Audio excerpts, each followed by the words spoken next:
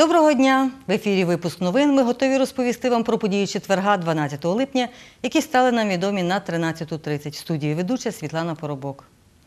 Затримали чоловіка, який може бути причетний до вбивства кам'янчанки. Інформацію про це підтвердила прес-секретар Кам'янець-Подільського відділу поліції Руслана Марчук.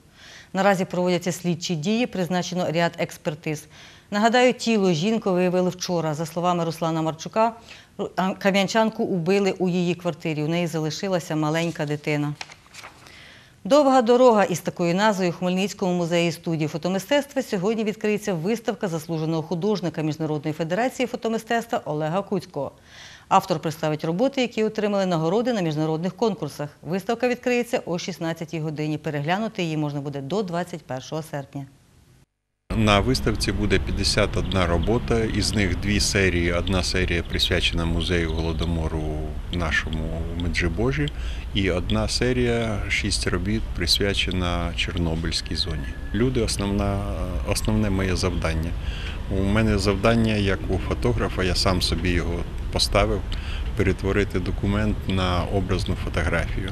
Тому я займаюся документальною фотографією, але Як бачите, і документальна фотографія може отримувати високі нагороди на міжнародних виставках і відмічатися як дуже високої якості фотографії. У мене там є різні, різні напрямки. Побачать і ню, побачать і портрети, побачать і пейзажі. Там все є. Але е, ще раз підкреслюю, це все документальні фотографії. Хмельницькі підприємці, як приватні, так і комунальні, зможуть використовувати бренд «Бук міста для випуску і просування власних товарів та послуг. Про це повідомила директорка агенції розвитку міста Хмельницького Леся, Леся Герасимчук. За її словами, бренд «Бук» допоможе впізнати продукцію, виготовлену Хмельницькому, і популяризувати виробників. Завантажити бренд «Бук» можна за посиланням на сайті Хмельницької міської ради. Що таке брендбук? Це певний набір правил з відповідними зразками, е, в якому зазначено саме логотип міста, логотип міста, як він використовується, якого має бути розміру, якого кольору, як його можна використовувати, як його не можна використовувати.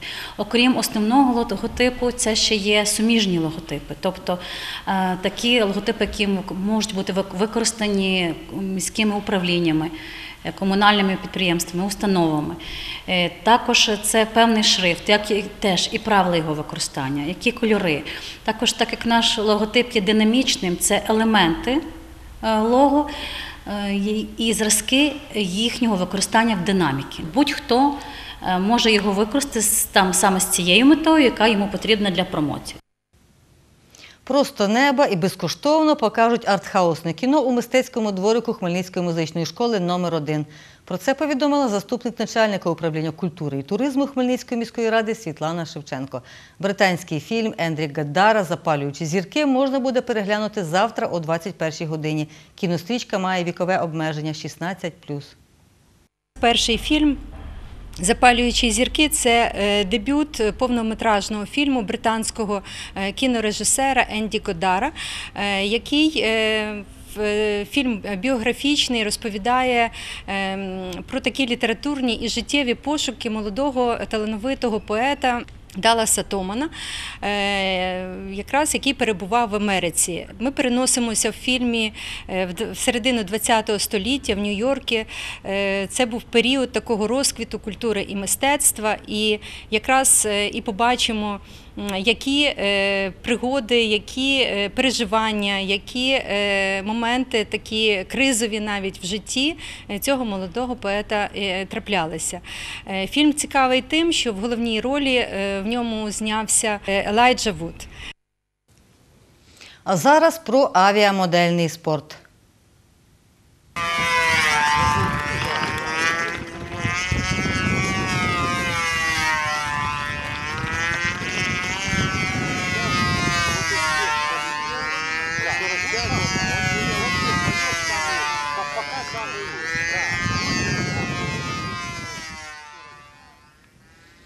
Так відбуваються змагання з авіамоделювання з кордових моделей літаків серед школярів в Україні, тобто моделей, якими керують пілоти за допомогою сталевих тросів кордів.